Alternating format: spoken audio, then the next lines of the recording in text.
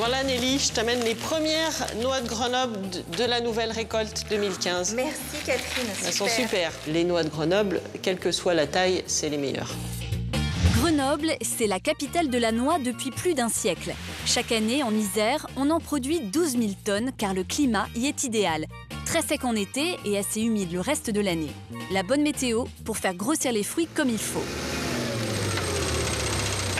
En ce moment, Stéphane est en pleine récolte. Il est producteur de noix à Poliénas, à 35 km de Grenoble. Sa super machine lui permet de faire tomber les noix.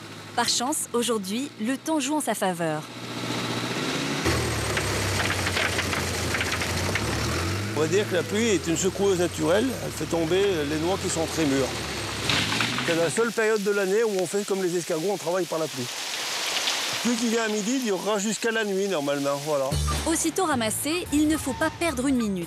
Les noix sont immédiatement lavées à l'eau claire. Ils sont pas trop sales, ça va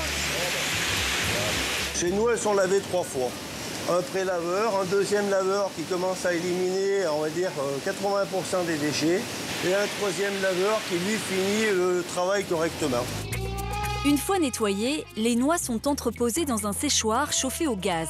Elles y restent plus ou moins longtemps, maximum 3 jours, en fonction des températures extérieures. Plus il fait chaud pendant le séchage, meilleur c'est. On n'est pas obligé de sécher l'air avant de l'envoyer dans le séchoir. On va espérer que le soleil revienne. Voilà. Pour savoir si une noix est sèche, il suffit de la casser, enlever cette petite particule qui est à l'intérieur, qu'on appelle la mène. Et si elle se casse facilement, la noix est sèche.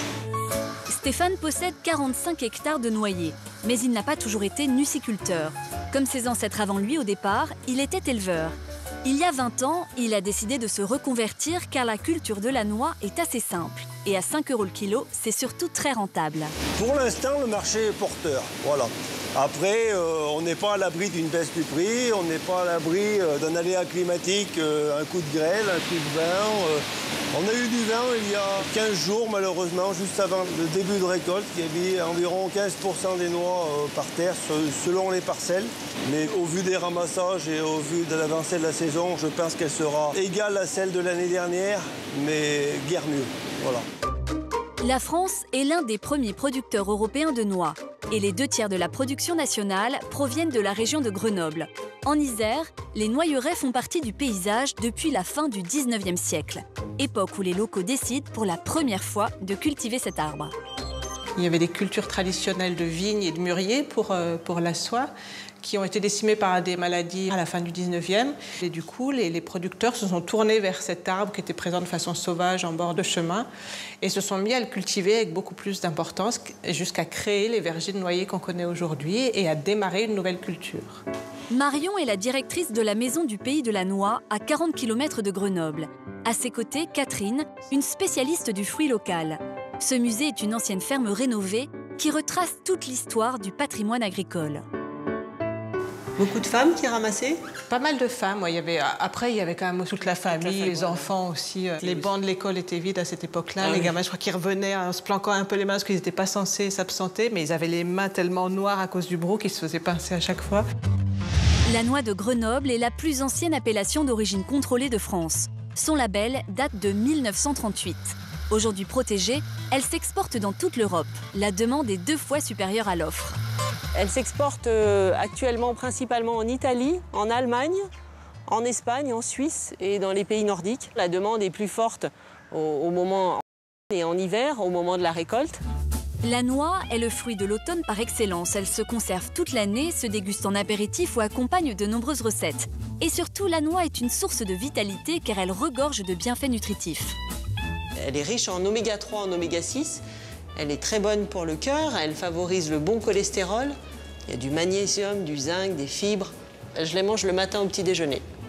Cinq noix le matin et après je suis partie pour la journée. La noix est excellente pour la santé. Pourtant, les Français ne sont pas très friands de ce fruit sec. On en consomme 500 grammes par an et par habitant, ce qui équivaut à une noix consommée par semaine et par personne. Il est vrai que bien emmitouflée dans sa coquille, la noix ne se laisse pas apprivoiser facilement. Pour la casser, c'est toute une technique. Alors voilà, la meilleure façon de casser les noix, c'est la façon traditionnelle avec le maillet. On tape bien sur le côté bombé et on délivre euh, les cerneaux entiers. Puis donc une fois qu'on a cassé les noix, le plaisir. C'est de les manger. C'est de les manger. Ne vous inquiétez pas, inutile de vous équiper d'un maillet pour vous délecter des saveurs de la noix, car elle se vend le plus souvent déjà décortiquée, moyennant quelques euros supplémentaires. Il existe aussi une large palette de produits dérivés, de l'huile, du vinaigre, de la crème, ou encore pour les plus gourmands, des chocolats à la noix.